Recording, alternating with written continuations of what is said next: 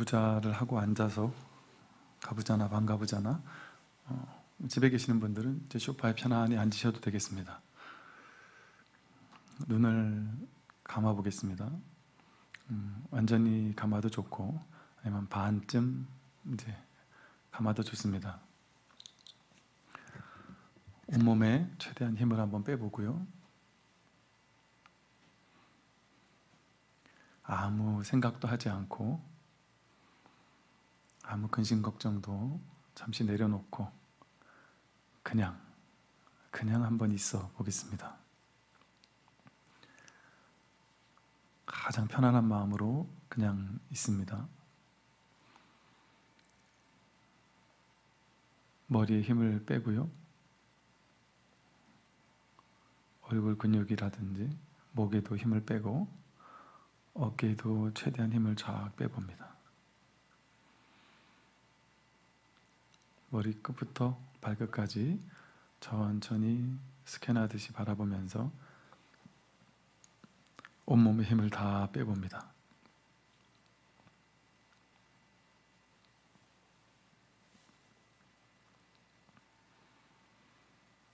지금 여기에 이렇게 있습니다. 지금 이 순간에 이, 이 고요함을 가만히 알아차려 보십시오. 이 고요함을 방해하는 미세한 혹은 거친 방해하는 소리가 나더라도 그 소리를 그저 알아차리기만 하세요.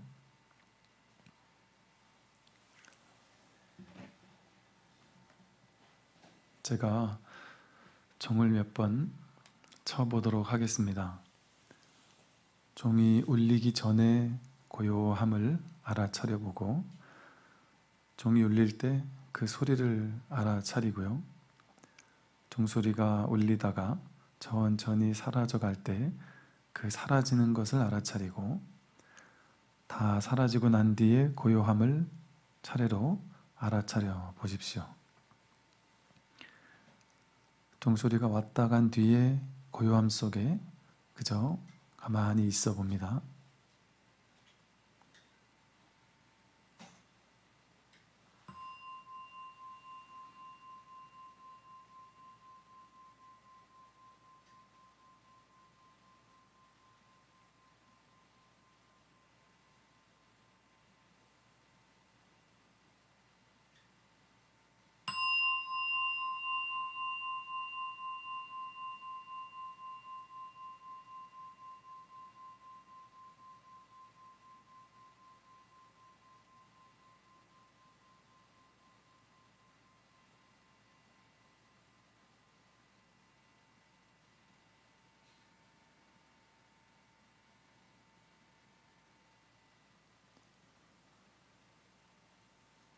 고요함을 알아차리는 이 순간에 내 안에서 생각이나 번뇌가 있습니까? 좀 직접적인 자신의 경험으로 스스로 한번 관찰을 해 보십시오. 종소리가 울리고 난 뒤에 고요함을 알아차릴 때 그 고요함을 알아차리는 거기에도 생각이 있는지 없는지 한번 살펴보십시오.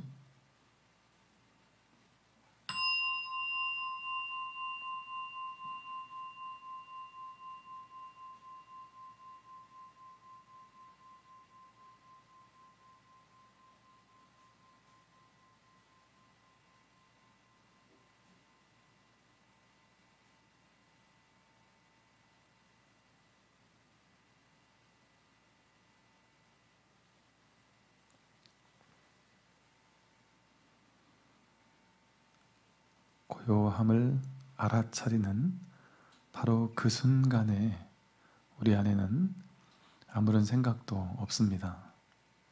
그저 알아차릴 뿐 그 어떤 생각도 일어나지 않습니다. 바로 이 고요함을 알아차리는 순간에 우리 내면의 고요함이 깨어납니다. 비로소 우리는 지금 여기에 존재하게 되죠. 바로 이때 우리는 에카르트 톨레의 말을 빌어본다면 수천 년 동안 되풀이해온 인류의 습관을 벗어나고 있는 것입니다. 이 고요함과 고요함을 알아차리는 것이 둘로 나뉘어져 있나요? 고요함이 따로 있고 고요함을 알아차리는 놈이 따로 둘로 나뉘어져 있는가요? 이 고요함과 고요함을 아는 이것은 둘로 나뉘어져 있지 않습니다. 정말 그런지를 이 침묵 속에서 스스로 한번 관찰해 보십시오.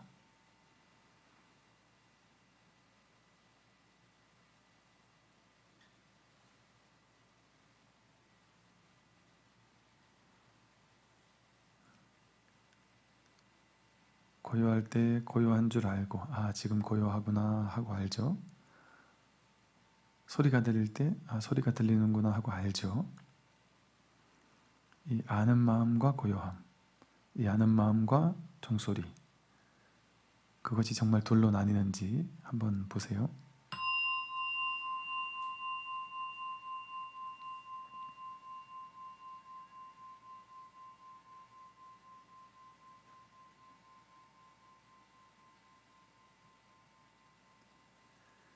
고요함을 알아차리듯이 이번에는 이 소리 자체를 한번 알아차려 보겠습니다. 이 종소리가 날 때 이 소리와 이 소리를 알아차리는 것이 둘인지 보십시오. 이 소리와 소리가 난다는 것을 아는 마음이 둘인지 한번 관찰해 보세요.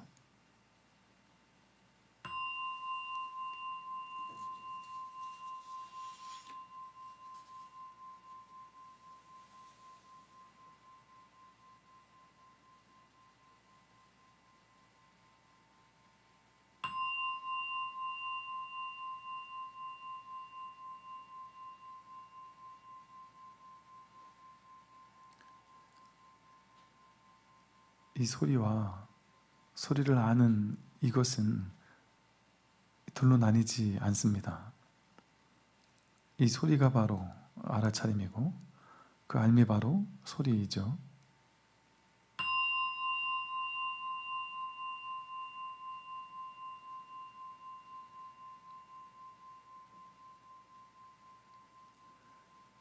이 소리와 이 소리를 알아차리는 이것이 친밀하게 하나라는 것을 자신의 경험으로 스스로 한번 느껴보십시오.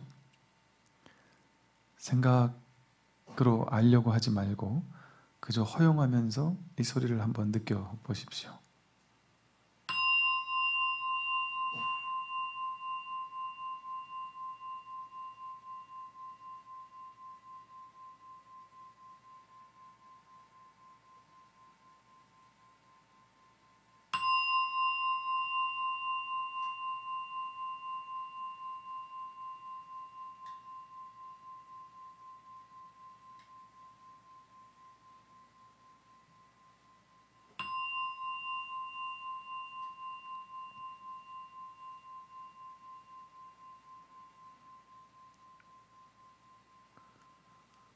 고요할 때도 그랬던 것처럼 소리가 날 때도 고요하든 시끄럽든 그것을 알아차릴 때 바로 그것을 아는 그때에 우리 마음은 고요해집니다.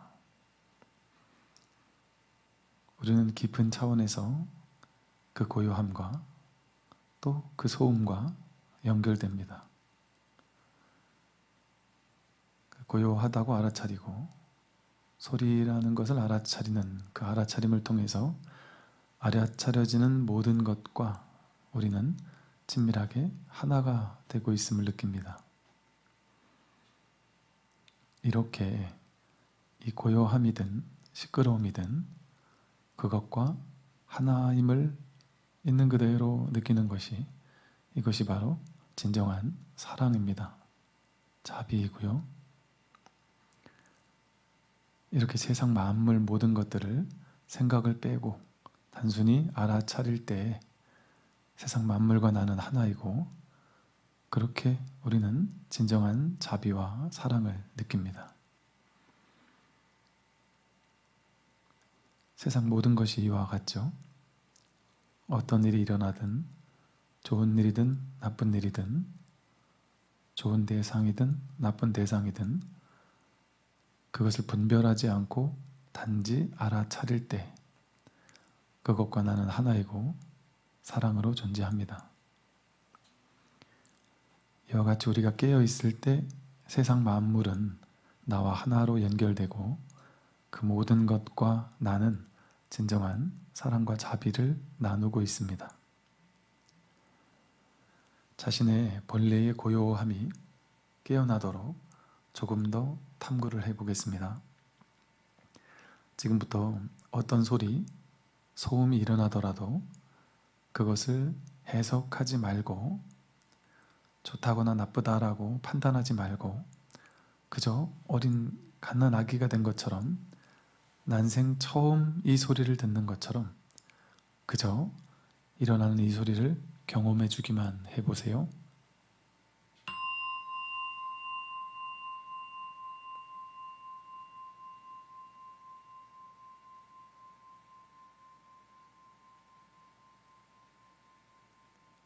이 소리, 이 소음, 이것에 대해서 마음의 저항을 떨쳐버리고 그저 어떤 소리라도 일어나도록 허용해 줘 보십시오.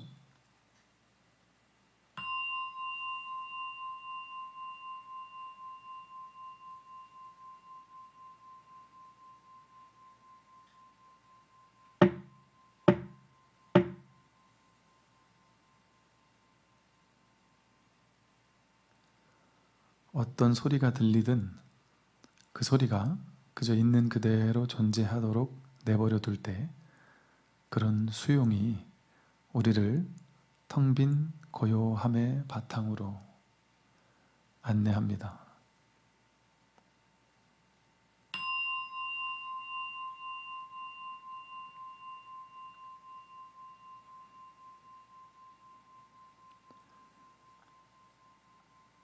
지금 이 순간 무엇이 일어나든 무엇이 경험되든 다가오는 그것을 있는 그대로 깊이 수용할 때마다 나는 고요해지고 평화로워집니다.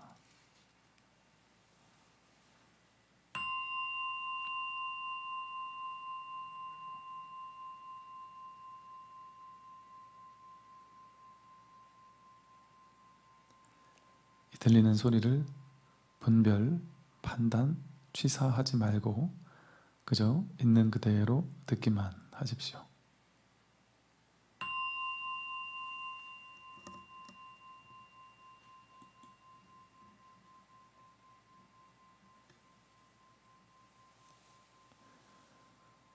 종소리가 들리고 천천히 사라진 뒤에 고요한 순간을 주목해 보세요.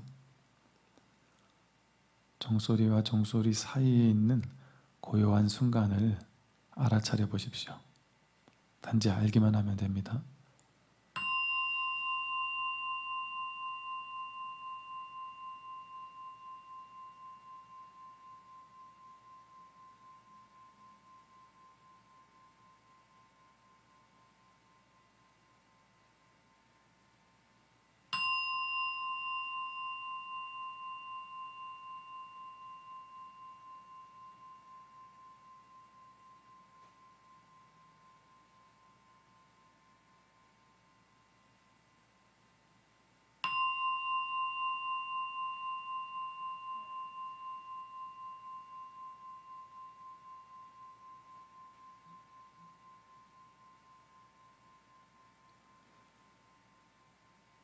소리와 소리 사이에 고요한 순간을 주시할 때 항상 무언가를 생각하고 분별하던 마음은 잠시 쉬어지고요.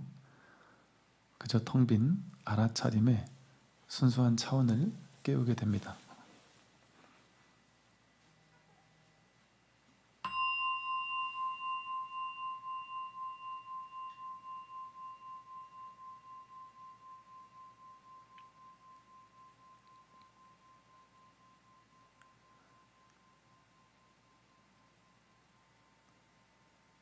이 고요함은 그저 소음이 없는 것이기만 할까요?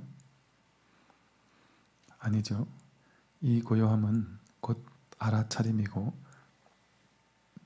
알미고 이것이 바로 고요함의 지혜입니다.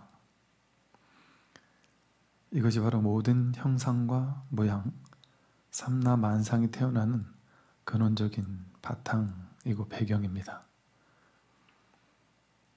이 텅 빈 고요함 속에서 일체 우주 삼나 만상이 드러나고 사라집니다. 이렇게요.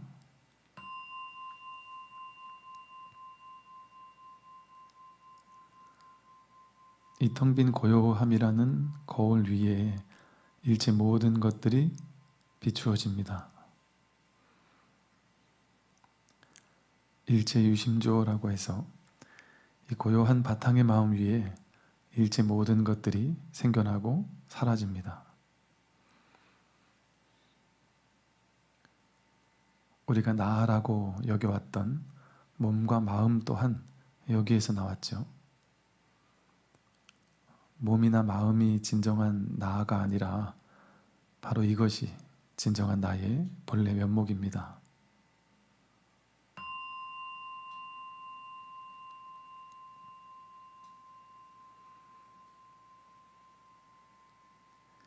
이 고요함을 알아차리고 이 소리를 알아차리는 이 모든 것을 알아차리고 보는 자는 누구일까요?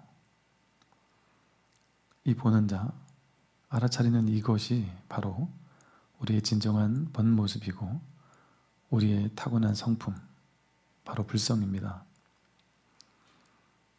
이 불성이 손수 창조해낸 것들을 불성 자신이 보고 있는 것이죠.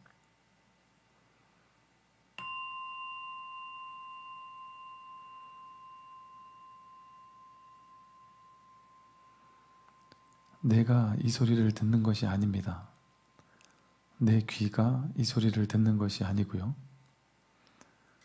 텅 빈 고요한 알미, 이 알미라는 바탕이 자신이 만든 소리를 스스로 듣고 있을 뿐이죠.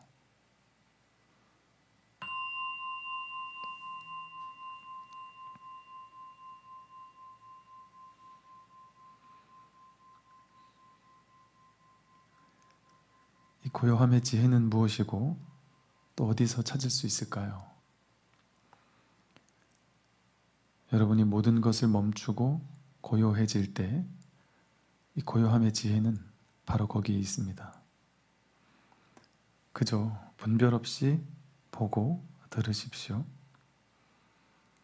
생각의 필터로 해석하지 않고 있는 그대로의 세상을 있는 그대로 경험할 때 본래의 자신인 고요함의 지혜가 깨어납니다. 이 고요함의 뿌리를 내리고 이 바탕 위에 굳건히 서서 여러분의 현실 생활을 이끌어 가게 하십시오. 이 고요함의 지혜가 여러분의 말과 행동을 이끌어 갈 수 있도록 하십시오.